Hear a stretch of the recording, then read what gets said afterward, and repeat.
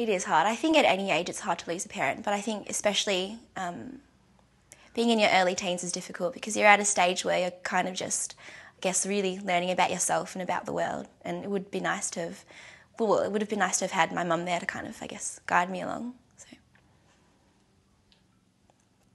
Cigarettes destroy lives, not just your health, they destroy lives, not just your life.